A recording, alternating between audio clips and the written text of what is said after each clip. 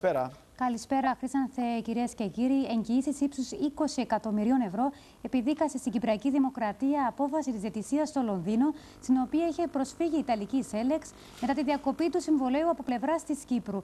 Το ποσό αυτό ήταν δεσμευμένο σε τράπεζες έναντι των ισόποσων πληρωμών που έκανε η Κυπριακή Δημοκρατία μέσω της ΣΥΤΑ προς την Σέλεξ για την εκτέλεση του έργου.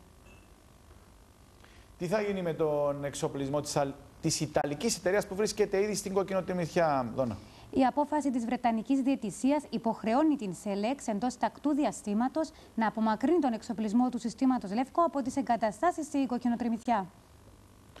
Ποια ήταν η αντίδραση της Κυπριακής κυβέρνησης, Όπως ήταν λογικό, επικρατεί μεγάλη ικανοποίηση για την απόφαση. Σημαντική ήταν η δήλωση του Γενικού Ελεκτή Οδυσσέα Μιχαηλίδη, ο οποίος επισήμανε χαρακτηριστικά ότι τέσσερις υπουργοί συγκοινωνιών, μεταξύ των οποίων και ο αίμνητο Στάσος Μητσόπουλος, καθώς και ο Γενικός Διευθυντής Αλέκος Μιχαηλίδης, δικαιώνονται που επέμεναν ότι το κράτος πρέπει να απαιτεί σεβασμό των συμβάσεων που υπογράφει. Αναφορά έκανε και στο θέμα των ευθυνών, οι οποίες, όπως είπε, θα πρέπει να αναζητηθούν από την ερευνόσα λειτουργό που διόρισε πρόσφατα το Υπουργικό Συμβούλιο. Ευχαριστώ πάρα, πάρα πολύ.